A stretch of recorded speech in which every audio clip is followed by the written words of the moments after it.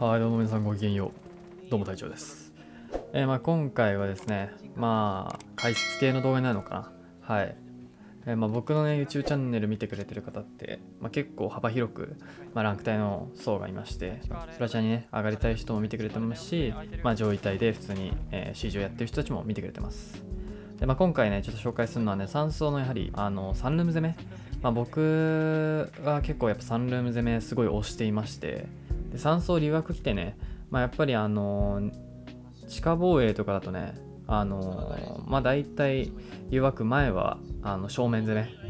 えースノーモービル攻めたりしたんですけどやっぱりねワインセラ側もねあのまあほとんどがねもうプラタイはえーワインセラ攻め地下ワインセラまあ、裏攻めになります。はい。裏攻めが主流だと思います。で、サンルーム攻めもね、あの、非常に、えっ、と、まあ、パーティーでね、あの、ちゃんとやればですね、えーすごく簡単に取れますんで、まあ、ぜひやってほしいなと思います。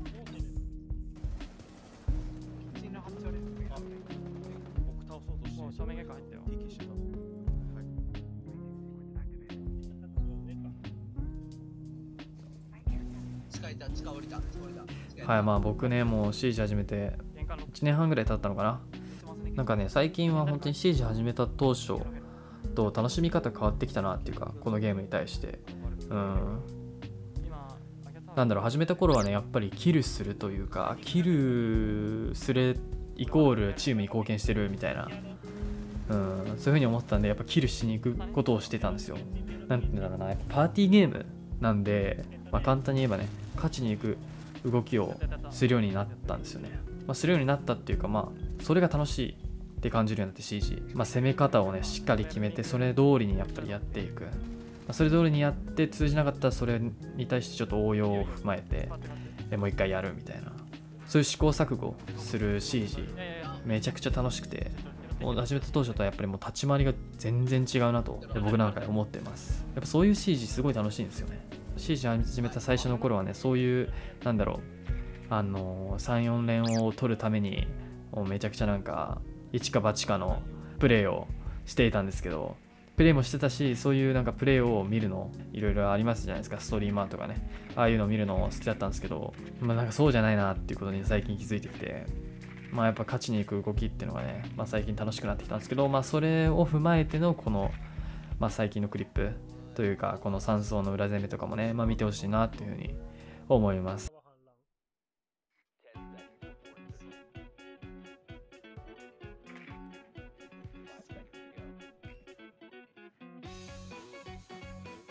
じゃあそろそろフラグつけ上げば。でまずねこの、まあ、フラグ投げてるポジ、まあ、ここねサンルームっていう、まあ、あの階段上がったところになるんですけど、まあ、ここねよく敵がいるんで、まあ、味方にねドローン回してもらってここに敵いるって分かったらもう即突き上げる、えーもうほとんど刺さりますここはもう突き上げうんなんでフラグめちゃくちゃ強いんでフラグはね必ず1枚いってほしいなと、まあ、じゃあサンルームクリアリングして、まあ、いないなって分かったら次バスなんですけどバスって、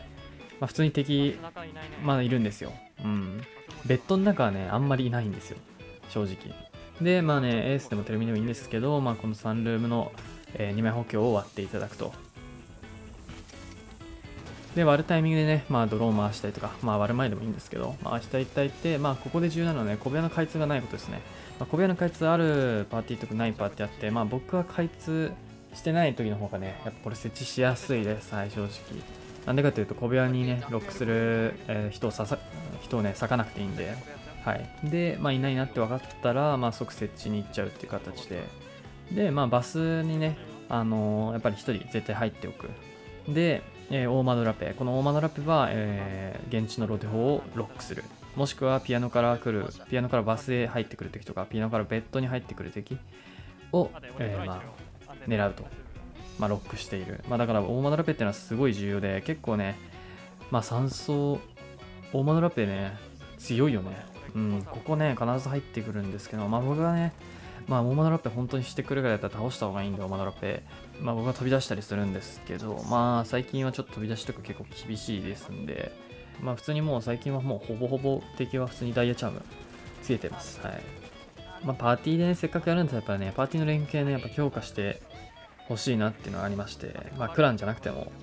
一面で集まってますみたいな、パーティーでもしなんか、あのうまく勝率上げられないねと思った方たちはですねやっぱりパーティーの連携すごい絶対重視した方がいいと思ってて。しはい地下なし。なしダイニングなし。西側玄関なし。地下今今のところにない。入れるよ。ね正面玄関入れる了解ダイニング来るかもしれないからじゃあダイニング見とくわ。サンルームの方ドル回すわ。ちょっと待ってピアノには、ピアノはね。英語には、ジャブ払えるダイニングサンうん。あってもいいかも。はサンルーム自体はいない。4AD ワレポダイニングだけ。ワレポであれだシフォ投げるるシフォ投げるサムルかいあのバスにねおるん。シニガナディストラクター壊しといてよ。こ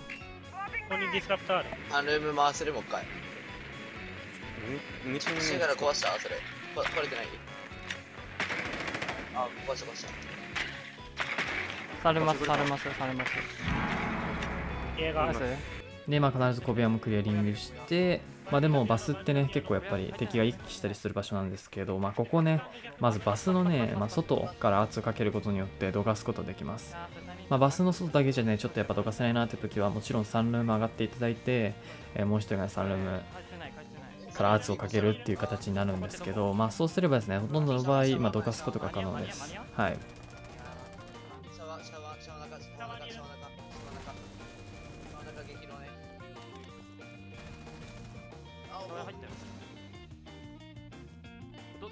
まあ、あの周辺に敵がいないなとかあったらもう全然プラント。もうピアノ側とかね、オフィス側に敵がいる場合はもうプラントしちゃって全然大丈夫です。で、まあ一番怖いのは、まあ、あの突き上げニトロ。まあ、これは下に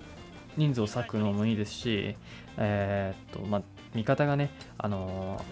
まあと1人、2人、3人、全員、現地、向こうの現地が逆ボムいるよっていう感じで報告入ったら突き上げ気にしなくていいじゃないですか。でもやっぱそういうのって味方の報告とかすごい重要なんで、